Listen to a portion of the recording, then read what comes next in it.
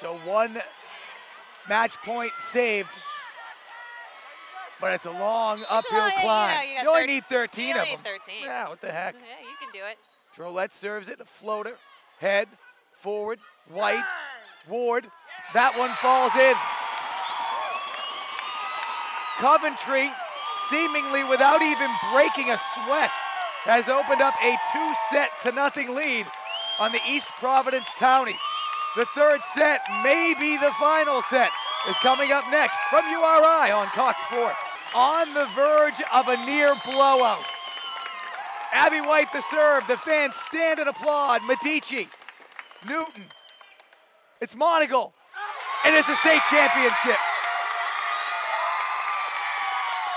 Back-to-back titles for the Coventry Knotty Oakers. They wrap the season up at 18 and 2.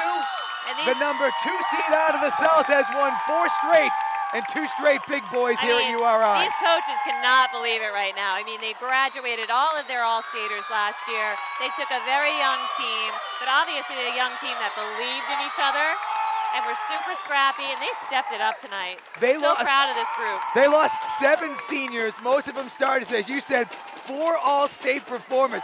90% of their club played JV last year. Unbelievable turnaround. But you know, that's what, when kids come together and they believe in each other, that's the stuff that can happen. They never gave up. They stuck in there. The coaches were with them through and through. That's a testament to the coaching staff. They played the cleanest game that we saw all afternoon. Beautiful, beautiful. Passing was there. Haley, I mean, I, I absolutely love Samantha Higgins. She's amazing. She had a, she was a major factor tonight.